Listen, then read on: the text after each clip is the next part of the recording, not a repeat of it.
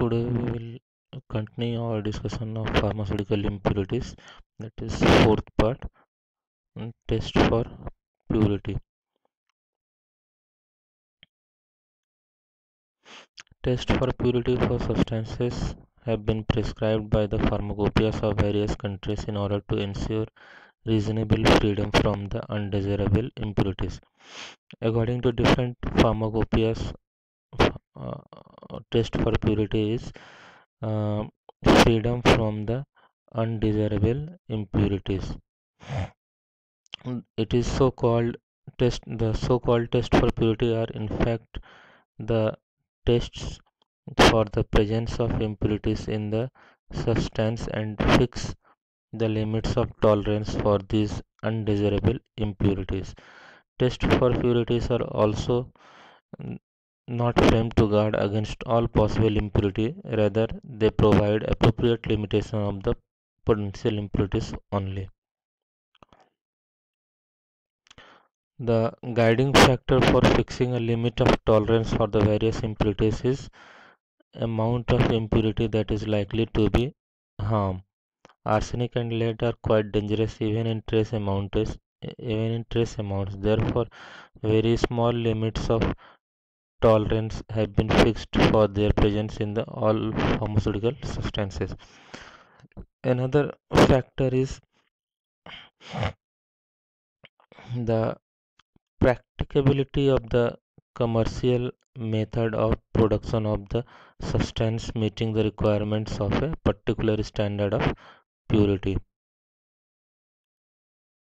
The ultimate objective of tests for purity is that the pharmaceutical substances if not completely free from the undesirable or toxic impurities it should be reasonable good purity ensuring therapeutic safety. It should have as it should be having reasonable good purity ensuring therapeutic safety of the product the presence of sodium bromide in the more expensive potassium bromide is not likely to cause any harm to the patient but at the same time the potassium bromide should be of sufficiently good pharmaceutical quality and purity not containing excess amount of sodium bromide.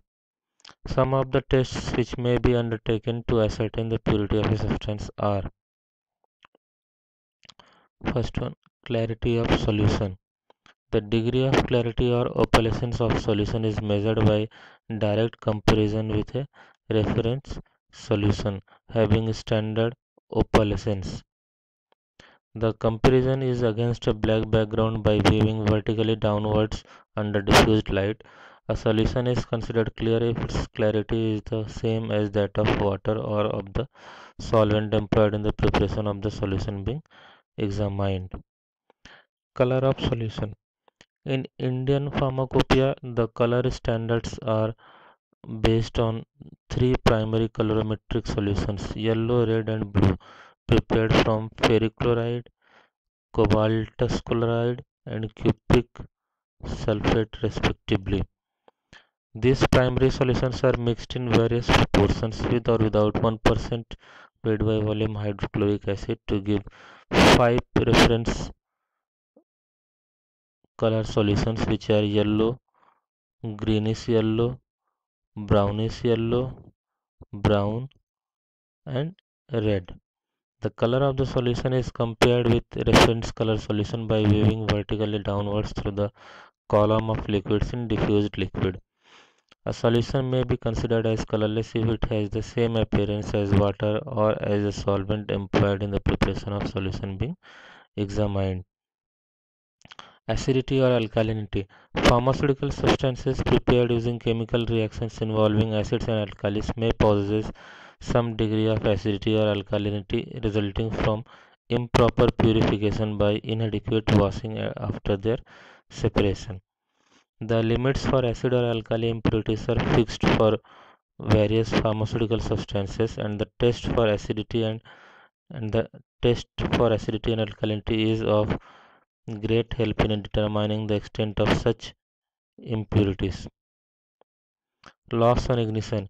It is the loss of weight in percentage weight by weight resulting from a volatile part of any test material that is driven off under specified conditions.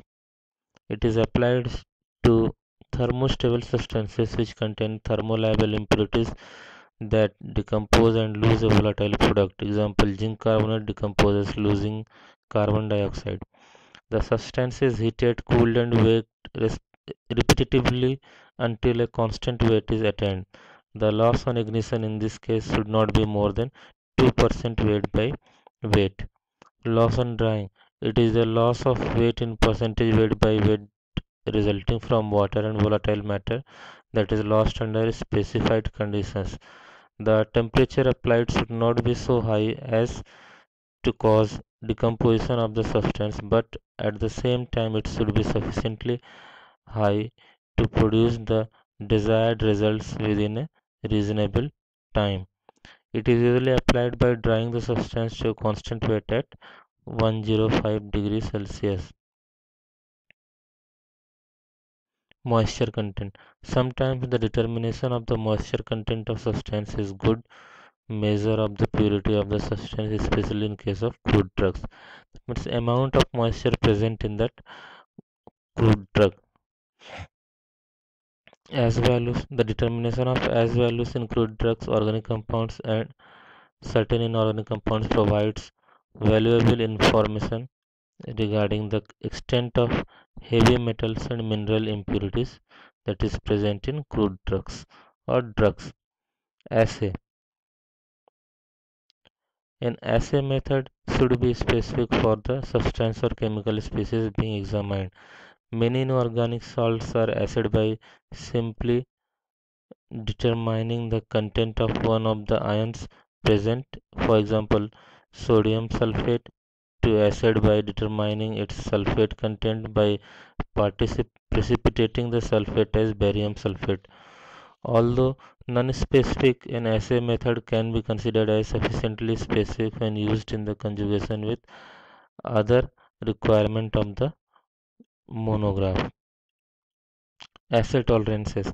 Assay tolerances plays important role in fixing standards for pharmaceutical substances. They include the limits of error of the actual assay process for the active pharmaceutical ingredients, the limits of tolerance of the manufacturing processes for the particular dosage form and the sampling errors. These are the references which we have followed in this presentation. In the next presentation, we will learn about limit test. That means different types of limit test. Thank you. Thank you all for your patience hearing.